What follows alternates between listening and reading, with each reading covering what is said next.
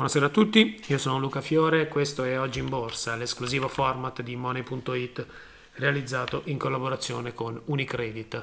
Seduto di recupero per le borse europee dopo le, forti vendite innescate ieri dalla variante inglese al eh, Covid-19.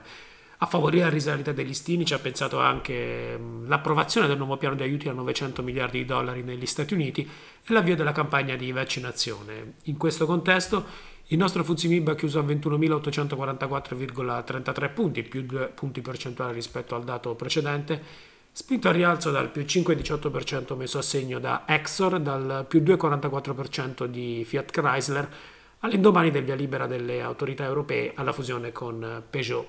Bene anche i titoli del comparto bancario, tra cui spicca il più 3,24% del banco BPM e il più 2,26% di Biper e poco più sotto, più 1,42% per Unicredit, dopo il via libera del CDA all'accordo di risoluzione consensuale del rapporto con uh, Jean-Pierre Moustier.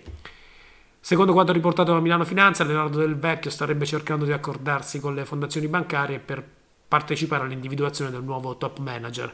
Intanto da Fineco Bank hanno fatto sapere che il numero uno non è interessato. Tra le performance migliori segnaliamo anche il più 2,74% di Enel, mentre tra quelle peggiori, si fa per dire, vista la giornata decisamente positiva, troviamo il meno 0,87% di Diasori nel meno 0,27% di Tenaris. Le, sul, sul, completo segnaliamo il più 9,18% di Alerion, il più 7,19% di Acotel e il più 6,83% di Digital Bros.